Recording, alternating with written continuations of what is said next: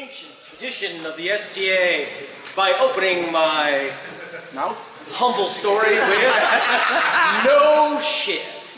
There I was. now, I will. I will also add another little, another little beginning to this, which is I'm never gonna fly to another freaking war again. so, it's Estrella War. I've flown in, and I am ready, revved up to do the Crystal Flute Challenge and get myself a crystal flute once and for all. And last year, I knew where the Crystal Flute competition was, and so I said, ah, I will head right there and get there early. And look, Odyssey Coffee is just a mere camping block away.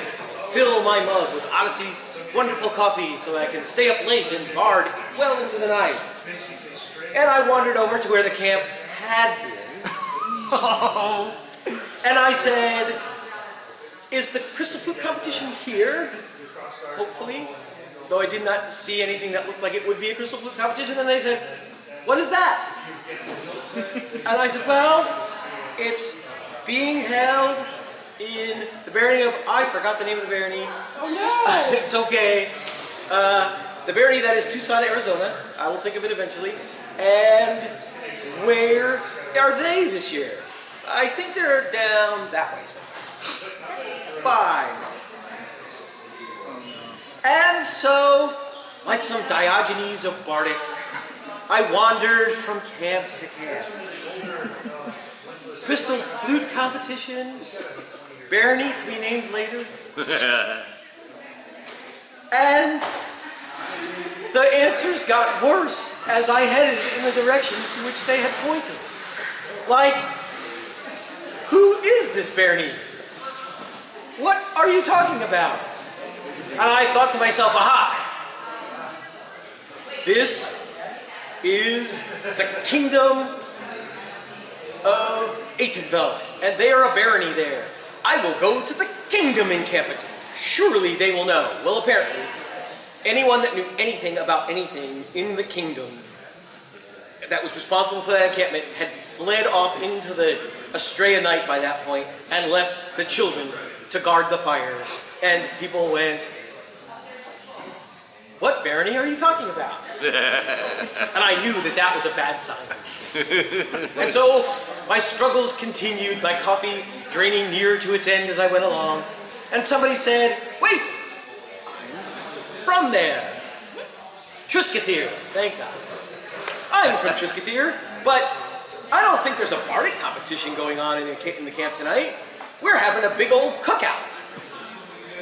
Well, uh, let's go that way anyway, just in case. And we head back along the back side of their encampment. Now, what I did not know is there are some outcroppings of rocks, this being Arizona in the desert near the Australian Oh, mountains.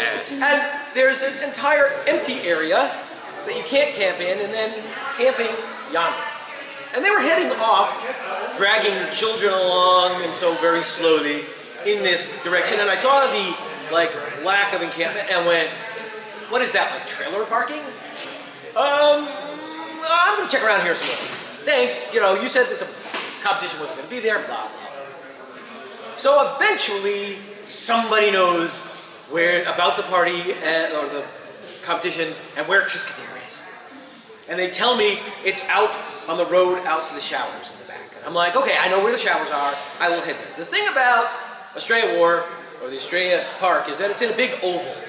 And the roadways drive you around in this oval. And what I did not know is you need to go out and around to get to the showers. And I headed straight at it. And the oval took over, and I'm wandering around and wandering around, and we're camped on the other side of the war, and I can tell that that's Calontir in the distance. Yes, that's how far I had to go in this 6,000 person war. And I said, well, at least I know how to get to the showers from here. And I went out the side road on our side and went around to the showers, and sure enough, there was just no road back in. So I'm like, all right, it's symmetrical. There's got to be a road on the other side from where I usually go because it's their side of the camp. Great. I will make it all the way around to there in the dark, alone, walking on slightly gloomy, walking along the street, and there is a gigantic encampment with people all over the place and spilling off into the trail that I'm coming back into the regular encampments with.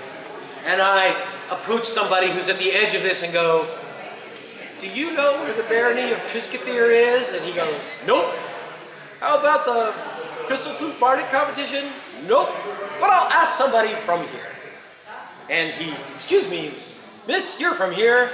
Milady, do you know where Tir Ysgithr is? And she spreads her arms wide proudly and says, all this is Tir Ysgithr. And do you know, I said jumping in, where the Crystal Flute Bardic competition is? Why yes, it's in the baronial encampment, where you see the Baron of Tir Ysgithr, Baron and Baroness of Tir Ysgithr and their folk had a separate, smaller, quieter encampment away from the hubbub of the great uh, hot dog feast that they were having. And so I made my way there, and as I get to the competition, I look out and I see the blank space that, oh, 20 minutes before, I could have walked across to get here. Just then, they're going to start the competition. I've delayed it for a while. I know people had a hard time getting here. I'm sorry if I didn't give good directions on getting here. I'm like, look for the directions. And I'm sure it took you a little while to get there. You have no idea, I'm thinking. and then he makes this other small announcement that I didn't think would necessarily have anything to do with me. My dog ate the box that the crystal flute came in. Oh. And all I have is this little bit of foam to try to cushion it. But I have the crystal flute. Somehow it survived. Oh. And I thought to myself, yeah, it's going to be my luck. I'm going to win this stupid competition and break the flute before I came home. I did not know that at that moment I was given the gift of prophecy. Oh, Having won the competition, I, I thanked him. He said, we will replace the flute if something terrible happens on the way home. Boy, am I glad I got that guarantee. and, and so I took my precious crystal flute and I took it to my little dome tent because, you know, I flew. And I didn't want to burden my friends with like And I put it in the corner and tried to make that a safe zone. Then the next day, my big old heavy crossbow was laying right across it. And I'm like, ah! This is not a safe place for the sacred crystal flute. I will put it over here on this quiet. My heavy combat boots, because it was kind of muddy that year that I had had to wear, are right next to the crystal flute, having been flung there. Ah! Okay, that's it. It's the last day anyway. I'm going to take down camp. There are these really grody thingies, barbecue stuff caked on. Didn't matter. Put a towel that I'll never use again over it. Put my crystal flute on that and surrounded it with everything I owned that was going home. And I thought to myself, how, how can the crystal flute return home? Well, I know.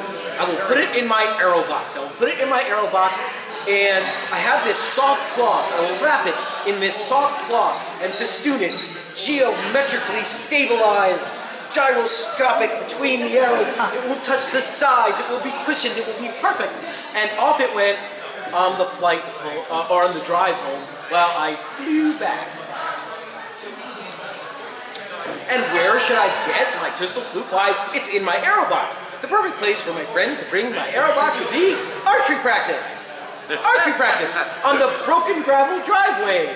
Outside the archery practice is where we will make this exchange. And I took my van for some stupid reason.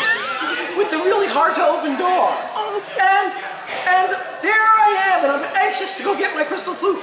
My lovely wife, Ketsia, had provided a nice box for the flute to come home in, and I put it, for, again, some stupid reason, in the very back of this stupid van. And, and I jumped out to see if my crystal flute was safe, not getting the box out first.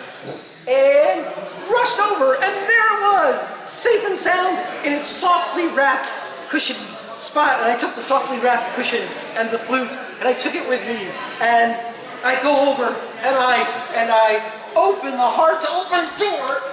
Now there's a thing about having a glass flute in a padded holding. There's no friction.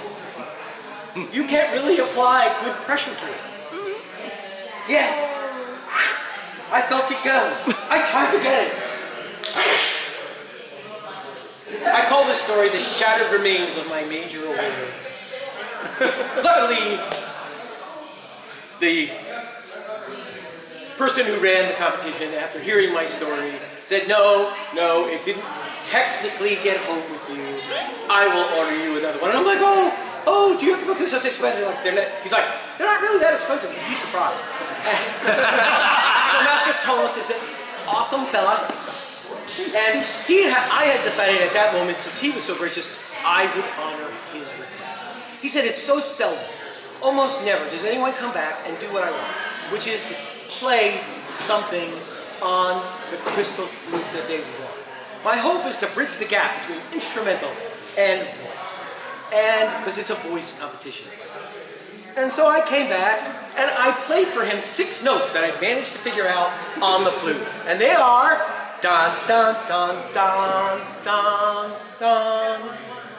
It's a small musical interlude that it may be teasing the side of your mind right now. Something in the way she moves attracts me like no other lover. Something in the way she moves me. I don't want to leave her now. You know I believe in how. Dun dun dun dun dun dun. So I played for him something on his Christmas.